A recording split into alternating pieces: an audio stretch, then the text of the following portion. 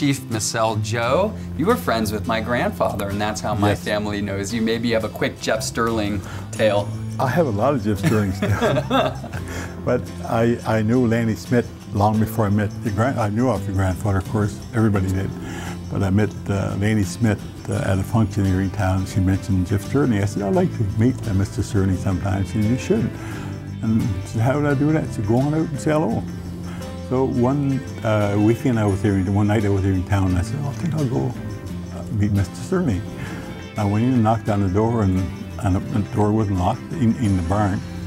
And I walked in and said hello really loud a couple of times, and and I heard a, a voice coming from somewhere, like way up there where he is now, I hope.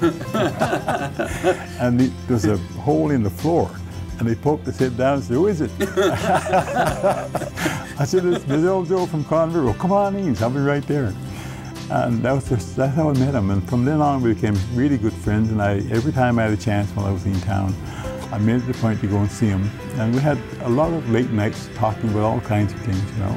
They want to know about what we're doing and how we're doing it. And we, we had also talked about the kind of work that he's been doing in Newfoundland for a long time.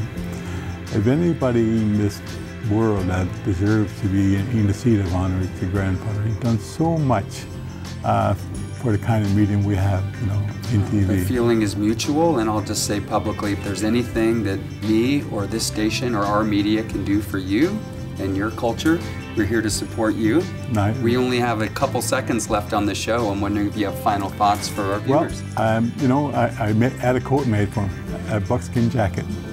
I don't know what he done with it, but if you can find it, I'd like to see it again. I will get that for you. because I'm sure he left some be good medicine in that jacket. Right on. Right on. Well, thank you so much Thank for you. being so generous of time and spirit. And despite a really hard time you've had, you continue to give back to the province, and you really are an inspiration. Thank you.